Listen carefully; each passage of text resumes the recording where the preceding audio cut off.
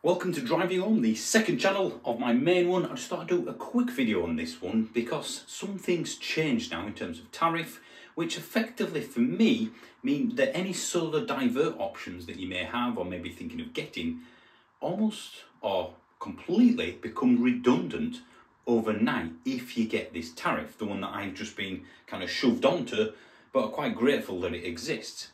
Now, to get what I'm about to tell you, you have to be on Octopus Energy's intelligent tariff or intelligence tariff. I think you need a Tesla, certain VAG cars, an Ohme charger. There's a few other chargers as well. Have a look on their website in terms of who can get it because you need certain cars or EV chargers to support it to then be able to get that tariff. So the tariff in question is this one. You get six hours at seven and a half pence per kilowatt hour.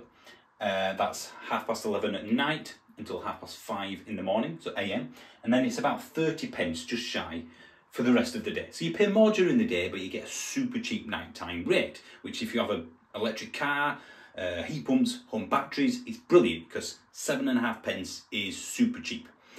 But when it comes to solar panels, generating your own electricity, then it's always been better to use that energy, divert it into something like a hot water tank or the car, or just turn things on. So basically, use the excess solar as much as possible rather than export it to the grid.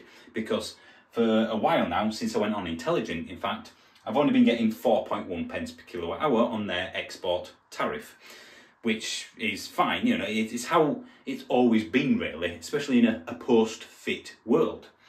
But this new tariff has changed things considerably. It's a new export tariff, which if you're on Intelligent, you seem to be automatically put onto. At least that's what happened when I got this email.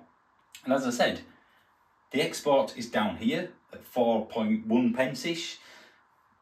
Wherever I get my electricity from, the import is always more expensive. So that's why exporting has been pointless. But look what happens when I factor in this new tariff, which is no longer 4 pence per kilowatt hour, it's 15 pence per kilowatt hour. That's the export.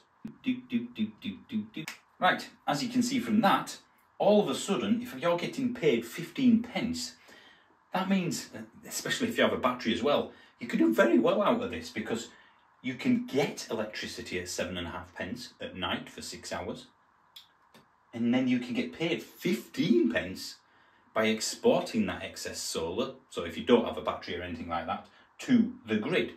So before you used excess solar, now you don't want to use it.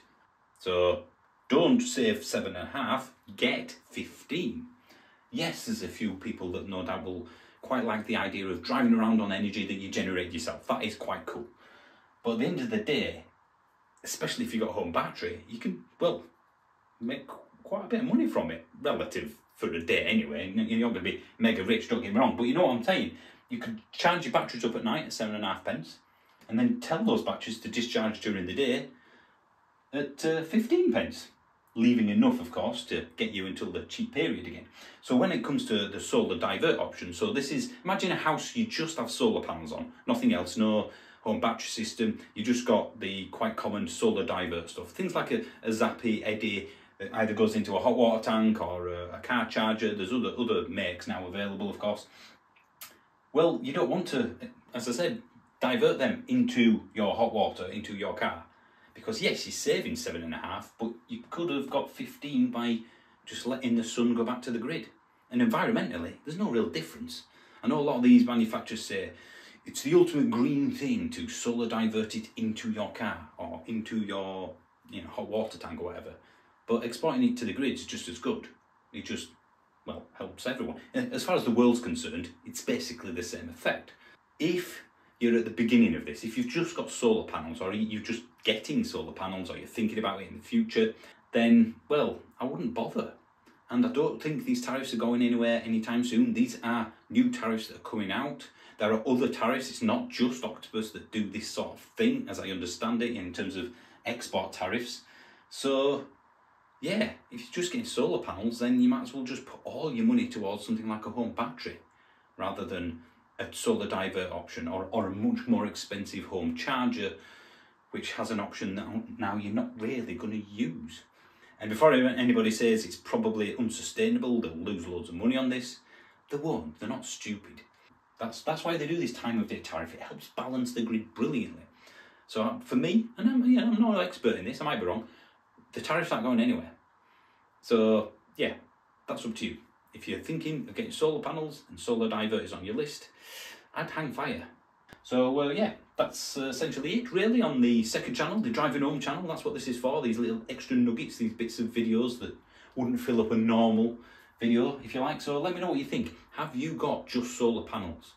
And you're thinking about getting other things. What's the next step? Does this change things for you? Have you got what I've got, but you can get Octopus Intelligent because you're not got the right car or something? Well, I'm sure they will change that at some point. I'm sure there are other options where you can get 15 pence or perhaps even more as an export tariff with other um, utilities out there. So this isn't the only way. I'm not saying it is. It's just I'm with Octopus and it's a lot easier for me to tell you about it.